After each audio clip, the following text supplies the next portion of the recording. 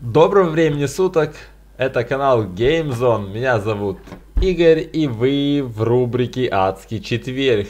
Сегодня мы научимся тюнинговать ваши любимые обычные домашние или офисные мышки.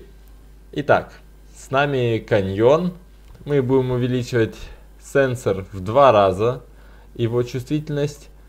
Э, был 800 dpi, станет 1400, к сожалению, и пытался сделать 1600, но этот чип поддерживает только 1400. И второе это дополнительная кнопка, которая делает 11 кликов в секунду. Да, вы, вам не послышалось, это 11 кликов в секунду. Кстати, тут можно сделать и 100, и 200 кликов в секунду. Итак, смотрим видео, учимся. Итак, мы разобрали наши мышки, получили вот такое вот внутреннее устройство. Зеркальце у кого-то может быть сложнее, у кого-то проще. У меня каньон, она очень простая и дешевая мышка. А, в ней, как вы видите, особо механизмов нету. Один э, процессор графический, который обрабатывает и передает всю информацию. Собственно, он и есть уже интегрированный чип, который является мышкой. То есть, в основном, э, тут больше ничего нету. Два э,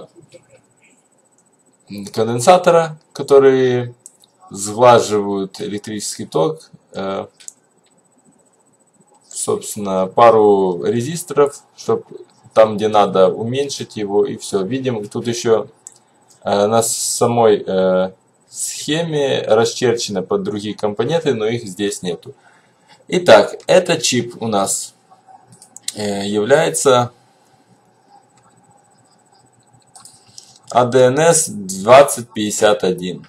Они могут иметь разные названия, но в принципе в большинстве это Hewlett Packardский чип. И давайте почитаем спецификацию по ним. Итак, э, к сожалению, мне попался китайский вариант. Он наиболее, так полагаю, доступный. А2633. Тут много чего написано. И есть небольшая такая вот штучка. Тут можно понять, что он поддерживает 800 dpi и 1600. Скажу так, 800 э, dpi это мало и 1600 тоже. Э, но если хотите чуть-чуть ее улучшить, чего бы нет, поскольку это никаких, в принципе, затрат от вас не потребует, кроме чуть-чуть времени и поразбираться. Зато, возможно, очень полезно отразиться на ваших скиллах в жизни, где вы сможете легко э, разобраться с чем-то сложнее, чем мышка. Итак, немного посмотря мануалы, мы определяемся, что если просто впаять вот сюда э, переключатель, примерно он будет вот так вот выглядеть, такая маленькая штучка, похожа на эту кнопку. При нажатии на него э, разрешение изменится.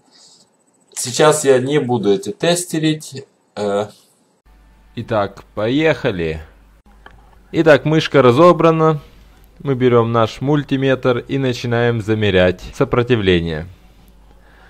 Согласно спецификации чипа, оказывается, что если мы просто выпаем одно сопротивление и впаяем ее в другое место, то мышка автоматически начнет работать в разрешении 1400, как мы узнаем позже, будет работать в разрешении 1400 dpi. А это значит, что для модификации этой мышки вам совершенно ничего не, не требуется. Вам просто надо 5 минут на выпайку одного резистора и впайку его в совершенно другое место. И все, на этом работа закончена. Итак, перед вами скриншоты теста мышки до оверклокинга и после оверклокинга. Э, как я тестировал? Э, я тестировал с помощью Enotus Mouse Test.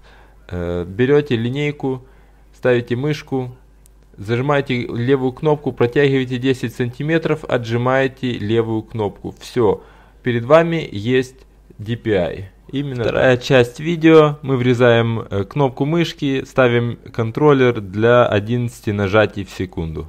Так, разобрали, вымерили точную позицию кнопки, сделали отметку, потом берете дрель, высверливаете все по кругу, потом выдавливаете из пластик. Обычно мышки делают из жесткого пластика, поэтому тут запаситесь терпением. Вставляете кнопку. Один вывод от кнопки идет на левую кнопку мыши, именно на включение. Второй идет на 555 микросхемы. Собираем вот так по схеме. По сути мы закорачиваем, соединяем контакт номер 4,8 и это на плюс 5 вольт. Потом вторую и шестую. Э, между первой и второй мы ставим конденсатор, между второй и третьей мы ставим сопротивление. Потом мы, я бы посоветовал вам бы поставить диод от третьей ножки на сам выключатель, на саму кнопку. И все. А вторая часть кнопки самой мышки подключена, к самой именно левой э, кнопки мыши. Удачи в сборке. Я верю в вас, у вас получится. Будете делать первый раз, это займет, я считаю, очень много времени. Удачи!